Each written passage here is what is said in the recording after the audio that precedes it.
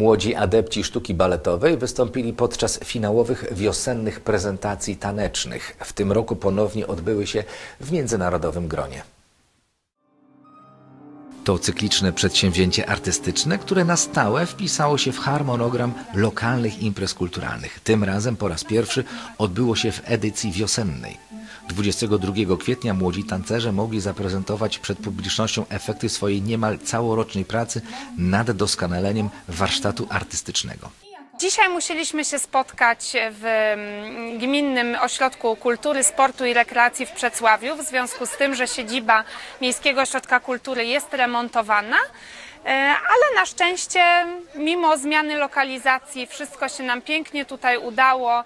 Zostaliśmy bardzo serdecznie przyjęci tutaj przez organizatorów. Podczas prezentacji wystąpiły zespoły z Polski i Niemiec. Oprócz Polic zaprezentował się także Szczecin, między innymi Państwowe Ognisko Baletowe, Fundacja Balet i Pałac Młodzieży.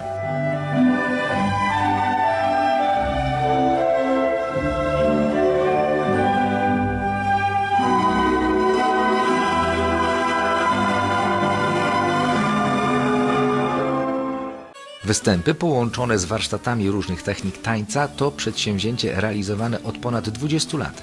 Z każdym rokiem przynosi uczestnikom więcej korzyści w zakresie umiejętności tanecznych, jak również interpersonalnych. Warsztaty prowadzą wykwalifikowani instruktorzy, którzy uczą młodzież nowych form tańca i choreografii.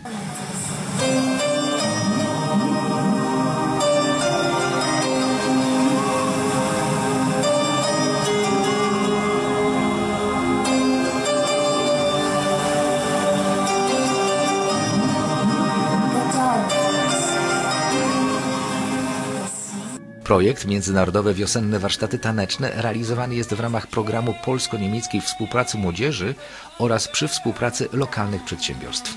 Koncert finałowy był zwieńczeniem pracy uczestników projektu oraz okazją do zaprezentowania warsztatu tanecznego i wyrazu artystycznego.